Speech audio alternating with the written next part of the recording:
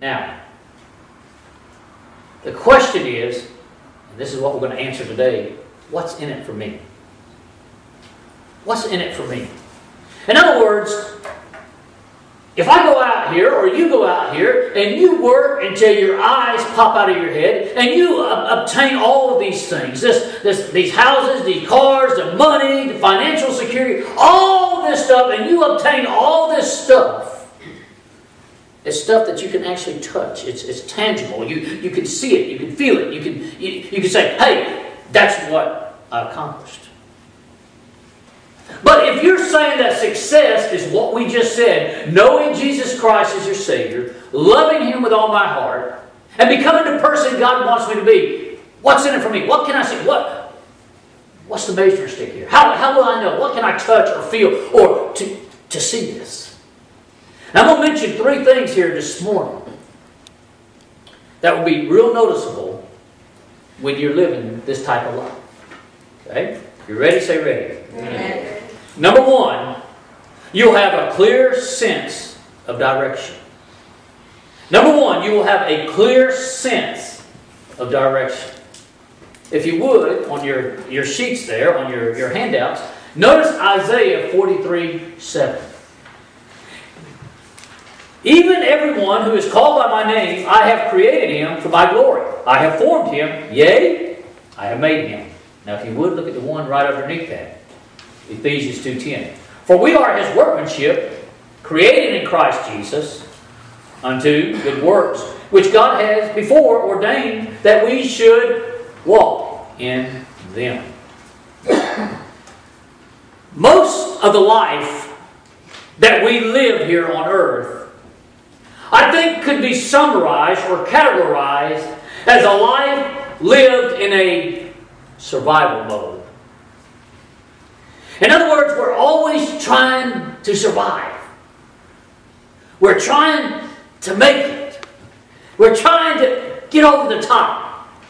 We're trying to get things right. We're trying to get things situated. We're trying to, we're always in a survival mode. Amen? And there's some things that, that we struggle with and that we constantly think about. For instance, where am I going in life? Where's my life heading? I try, but it seems like I'm getting nowhere. Sound familiar? Or better yet, how am I going to afford this? How am I going to keep making it? How am I going to afford to, to make it? I can't continue in the same pattern. Sound familiar? Amen. How about sometimes I just don't know if I'm coming or going.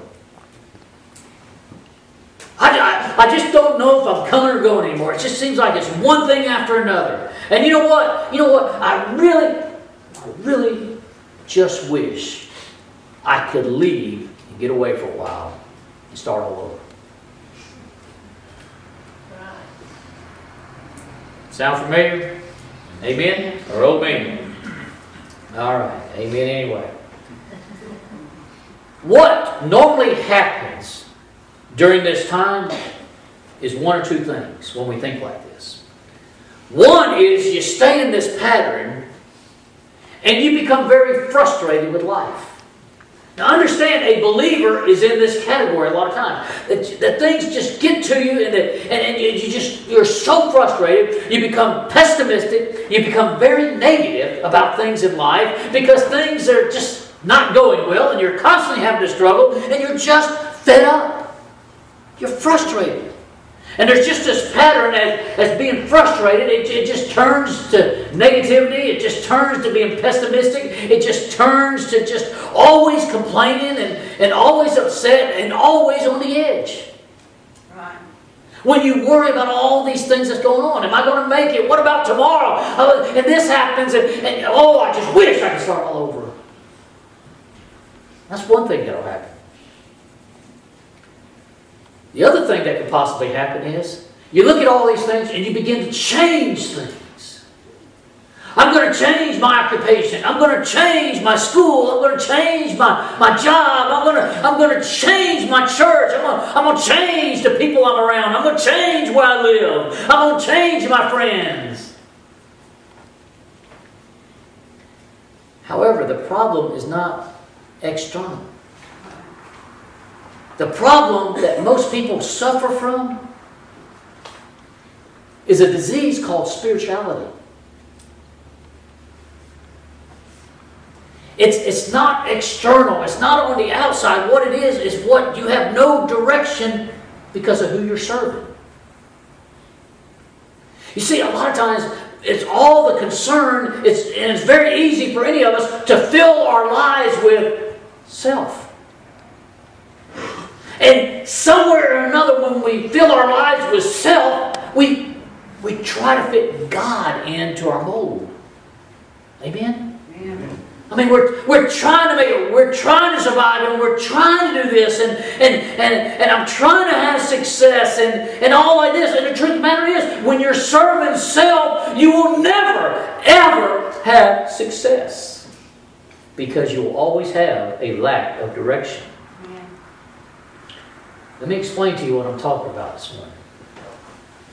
If you're saved here this morning, notice the two verses that we just read. In Isaiah 43 7. Notice what he says. I have created, God speaking, I have created you for my glory. And then you go over to Ephesians 2.10 and notice what it says. For we are created, or we are his workmanship, we are created in Christ Jesus unto, not by, but unto good works. In other words, God says, you know what? When you're saved, you're created to bring me glory. Right. When, when you're saved, you're created for my work. Man. You're created to serve me. Right. You're not created to serve self.